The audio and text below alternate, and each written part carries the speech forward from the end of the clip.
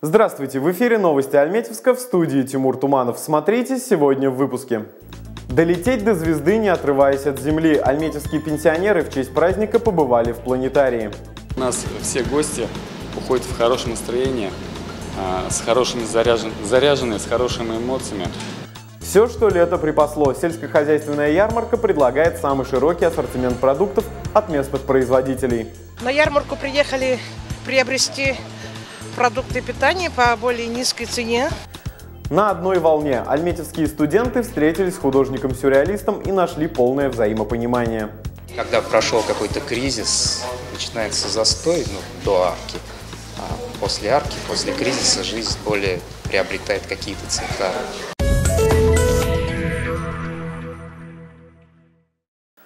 Сегодня мы отмечаем День пожилых людей. Может, это и не вполне праздник, но хороший повод обратить внимание на людей преклонных лет, которые живут рядом с нами, и сделать этот день запоминающимся. Сегодня в культурно-развлекательном центре «Сфера» была организована экскурсия для людей пенсионного возраста. Что нового и интересного узнали гости, расскажем в следующем сюжете. В научно-развлекательном центре «Сфера» собрались активные и позитивные люди. Это только по возрасту они пенсионеры, а душой каждый из них молод. Они стараются не пропускать ни одного городского мероприятия, вести активный образ жизни и быть в курсе всех событий. Вот и сюда пришли с удовольствием. Всегда тяга была к тому, что есть звезды, есть луна. Наши дети, взрослые и третье поколение знакомятся с, с астрономией и изучает небо. Ознакомиться с возможностями нового культурно-развлекательного центра, посетить экспозицию планет Солнечной системы и на мгновение окунуться в мир космоса. Все это смогли сегодня альметьевские пенсионеры. Около 50 человек посетили совсем еще новое и непривычное место отдыха – планетарий в парке здоровья. У нас все гости уходят в хорошем настроении, а, с хорошими заряжен, заряженные, с хорошими эмоциями, потому что такого подобного центра на территории Татарстана и Альмитска э, нету. Тут очень много возможностей, э, которые мы планируем реализовать. Центр способен принять 140 посетителей одновременно. Вместимость самого центра планетария – 40 человек. Расположившись на удобных мягких мешках кресла, гости могут насладиться просмотром фильмов. К примеру, сегодня гостям показали фильм «От Земли до Вселенной». Ученые обнаружили органические соединения, а на поверхности – озера жидкого метана. Все, что находится высоко в небе, во все времена интересовало тех, кто на Земле. Панорамный вид, который захватывает зрение от периферии до центра, не оставил равнодушным ни одного гостя. Ой, настроение прекрасное, солнечная погода. Э, вспомним детство, хотели бы еще раз посмотреть в современном исполнении и, возможно, какие-то новые новшества есть, как это можно сейчас днем посмотреть вот на некоторые планеты. Больше всего понравился, конечно, сам планетарий, где мы увидели, познакомились с нашей солнечной планетой. Здесь есть место и для отдыха ребятишек, маленьких детей. Есть место, где мы можем ознакомиться с различными планетами, то есть узнать и радиус, и массу, и среднюю температуру. Планетарий оставил у гостей массу приятных впечатлений. Весь октябрь по будням с 10 до 12 часов пенсионеры смогут приходить сюда бесплатно. Предварительно можно записаться через Совет ветеранов по телефону 32 50 29 или 32 50 35. Ангелина Хабибулина, Тимур Туманов, Альметьевск ТВ. В республике проходят мероприятия, приуроченные ко Дню пожилых людей. 2 октября запланирован День бесплатной юридической помощи, организованный Татарстанским региональным отделением Ассоциация юристов России. Мероприятие планируется провести с 8 до 15.30 без перерыва на обед. В Альметьевске прием граждан состоится по адресу улица Ленина, 41А. Это общественное приемное местного отделения партии «Единая Россия».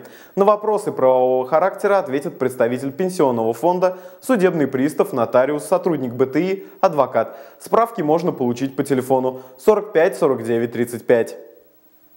С начала года в городе и районе было проведено свыше 200 спортивных мероприятий. В них приняли участие более 55 тысяч человек. Такая информация прозвучала сегодня на совещании с городским активом. Там обсудили закрытие летнего спортивного сезона. Подробнее в нашем сюжете. Как сообщил начальник управления по физкультуре и спорту Александр Листков, количество занимающихся спортом граждан в России пока ниже, чем в зарубежных развитых странах. Но республика в целом и Альметьевск в частности идут по этому показателю наравне с Европой. А по итогам этого года в районе прогнозируется повышение данного показателя до 45%. По мнению Александра Листкова, вовлечение населения в массовый спорт – сложная структурная работа системная работа со всеми возрастными группами. Улучшение материально-технической базы спортивных объектов и повышение качества оказываемых услуг населению в данной сфере. Спортивные объекты, фитнес-клубы, залы – Здесь прослеживается взаимосвязь между выстраиваемой инфраструктурой города, обустройством новых парковых зон и пространств для активного отдыха, желанием населения вести здоровый образ жизни. На организацию спортивных мероприятий и развитие массового спорта ежегодно выделяются солидные суммы. В Альметьевском районе бюджетное финансирование спортивной отрасли выросло со 125 миллионов рублей в 2015 году до 135 миллионов рублей в 2017. Огромную поддержку оказывает компания компания «Татнефть». По количеству и масштабам проводимых мероприятий наш город уступает только Казани. По итогам текущего года в районе было уже проведено свыше 200 спортивно-массовых мероприятий охватом более 55 тысяч человек.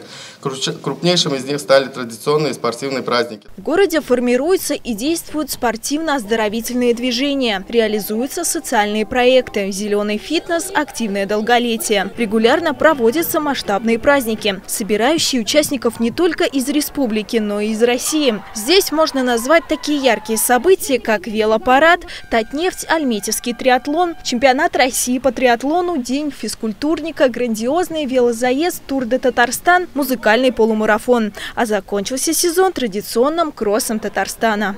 Татьяна Леонтьева, Булат Загидулин, Альметьевск ТВ. В Альметьевске продолжаются сельскохозяйственные ярмарки. Уже вторую субботу подряд все желающие могут приобрести и запасти на зиму овощи, фрукты, ягоды и мед от местных сельхозпроизводителей, а также мясо и молочную продукцию. На ярмарке побывал и наш корреспондент. Вторую неделю подряд на территории торгового двора разворачивается ярмарка сельскохозяйственной продукции. Здесь широко представлены местные производители, но есть и товары из отдаленных уголков. Своих потенциальных покупателей фермеры и хозяйства завлекают щедрым ассортиментом свежих продуктов и низкими ценами. Сельхозярмарка радует покупателей щедрым ассортиментом. Капуста, мясо, мед. И это лишь малая часть того, что представили сельхозпредприятия и фермеры. А главное, что приобрести все это можно по доступной цене. Вот, например, яблоки из собственного сада. Наталья Гельманова регулярно привозит их на продажу из Сызрани и Суходола. Продаем мы яблоки, начиная э, с, вот, с ярмарок в Альметьевске и до где-то до марта месяца мы продаем наши местные яблоки. Это Лова, Спартак, Башкирка, башкирская красавица, если точнее, Жигулевская. Спрос хороший, у нас есть постоянные клиенты приходят, берут яблоко. Большим спросом у покупателей пользуются овощи. Особенно активно покупают картофель, лук, морковь и капусту. В этом году мы первый раз приехали, прошлую субботу были, хорошо продавали, и в эту субботу вот приехали. Пока тыкву привезли, говорю, что пробуем, что идет, что просят. Вот морковку просят, мы что-то не привезли, в следующий раз привезем морковку, свеклу свою. Производители, которые не впервые выставляют свою продукцию на ярмарке, уже имеют постоянных покупателей. Они на ярмарке как дома, знают цены и качество привезенной продукции и даже закупают продукты на заказ для своих родных и близких. На ярмарку приехали приобрести продукты питания по более низкой цене. Мы уже не первый раз здесь обслуживаемся каждый раз приезжаем, нам это очень нравится. Вот сегодня я хочу взять, например, мне даже заказывали, побольше куплю творога. Домашний творог из домашнего хозяйства.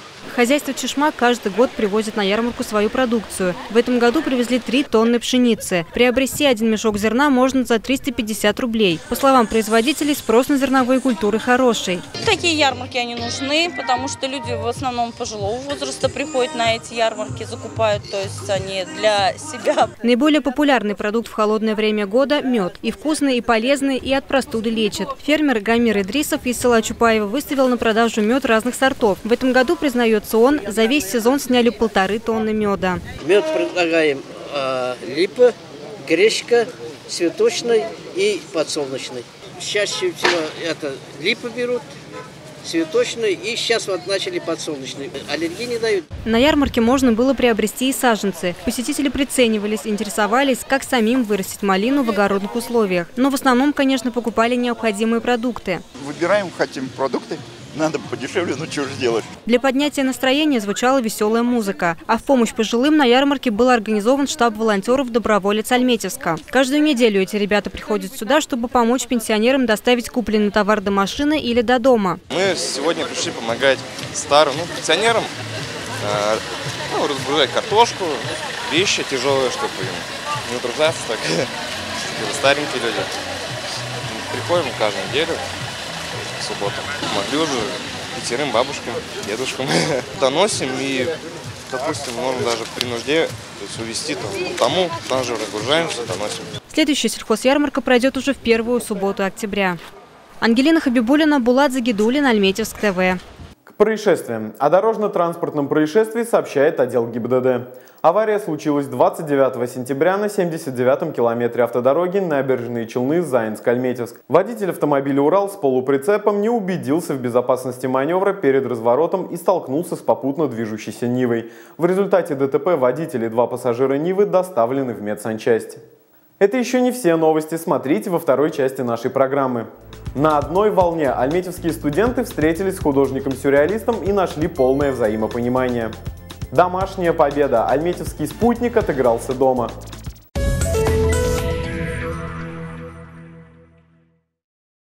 В одном из наших предыдущих сюжетов мы рассказывали о выставке Кирилла Шмидта, альметьевского художника-сюрреалиста, которая открылась в городской картинной галерее. Автор концептуальных полотен решил дополнить свою выставку встречей с молодежью, которой интересно его творчество. Студенты Альметьевского музыкального колледжа пришли, чтобы обсудить с автором скрытый смысл его картин. Подробнее в сюжете. Кирилл Шмидт не совсем обычный художник. У него нет специального образования, а окончил нефтяной институт. Опыта в классической живописи тоже. Кирилл – представитель современного поколения художников. Они близки к молодежи, и молодежь – их основной зритель. Студенты музыкального колледжа пришли не только на выставку, но и побеседовать с автором. В первую очередь посетители выставки могли узнать в подробностях, что же побудило Кирилла выбрать именно такое направление творчества и в чем, по его мнению, разница между откровенным безумцем и творческим человеком. У творческих людей все равно есть патология какая-то. Но творческий человек их выражает в мир. Те же картины, например. А больной человек, он в клетке сидит, этих демонов.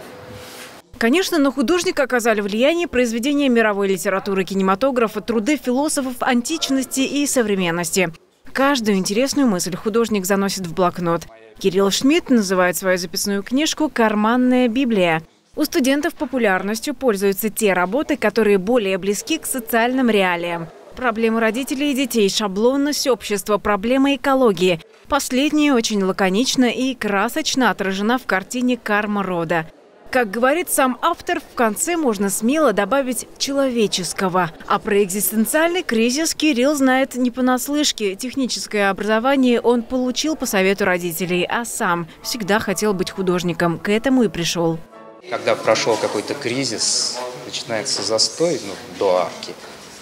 После арки, после кризиса жизнь более приобретает какие-то цвета. Топор в арке это символизирует то ну, какая-то ситуация необычная.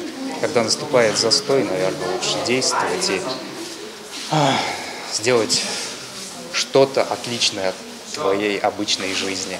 После беседы автор сам взялся провести экскурсию, чтобы объяснить, что он хотел сказать той или иной картиной. Собеседникам было интересно, насколько их мнение совпало с видением автора. Сначала я, конечно, не все картины понял. А после комментария самого художника я как-то все более осмыслил, осознал, увидел. Уже не вдавался в саму картину так глубоко. Выставка Кирилла Шмидта продлится до 24 сентября. Елена Марданшина, Тимур Туманов, Альметьевск ТВ. И к новостям спорта. На спортивной площадке образовательного центра «Дай-5» прошла финальная часть турнира по флорболу среди команд подростковых клубов. За звание победителя боролись 8 команд младших групп. Подробности далее. Команда нашего двора. Так звучит название турнира среди подростковых клубов по флорболу. Всего таких команд 20. Однако до финала дошли лишь 8. Соревнуются младшие группы 2005 и более поздних годов рождения. Есть, конечно, ребята очень хорошие, у которых уже руки набиты, как бы вот это все. Но уровень я не могу как бы оценить, потому что не видел в других районах, как, как играют. Но у нас, я считаю, что хороший уровень играют, резвятся. Сейчас вот младшая группа отыграет, начнем уже турнир для старшей группы. По итогам соревнований первое место заняла команда подросткового клуба «Заря». На втором месте оказался клуб «Союз». Третье место занял «Импульс». За волю к победе отметили клуб «Метеор». Их наградили кубками, медалями и сертификатами на продукцию от компании-спонсора. Татьяна Леонтьева, Булат Загидулин, Альметьевск ТВ. Новый сезон молодежной хоккейной лиги для Альметьевского спутника начался не так безоблачно. Ряд поражений в домашних и гостевых играх мог отрицательно сказаться на настрое спортсменов. Но в минувшие выходные в домашнем матче альметьевцы обыграли команду «Белые медведи» из Челябинска. После крупного поражения накануне спутник смог взять реванш. Пусть счет получился минимальным, но сухим. Домашняя встреча проходила в формате работы над ошибками. Ее хоккеисты альметьевской команды делали старательно, дабы не повторять прошлых ошибок сегодня. С первых минут был виден серьезный настрой, которого, по мнению тренеров, так не хватало в предыдущих играх. Альметьевцы чаще угрожали воротам белых медведей, но броски получались не самыми опасными, и голкипер соперника с ними до поры до времени справлялся. Результат принесла атака Данила Цыганова и Кирилла Лазарева под занавес второго периода. Их комбинацию на пятачке завершил Раиль Шарипов 1-0. Этот минимальный перевес держался до последних секунд встречи. В самой ее концовке челябинцы сменили вратаря и в шестером бросились отыгрываться. Но хозяева удержали счет и довели дело до победы. Теперь в календаре игр «Спутника» недельный перерыв. 8 и 9 октября наша команда на выезде сыграет с авто. А сейчас узнаем, какой будет погода в Альметьевске во вторник. 2 октября ожидается ясная погода. Температура воздуха днем 14 градусов, ночью плюс 3. Атмосферное давление 758 миллиметров ртутного столба.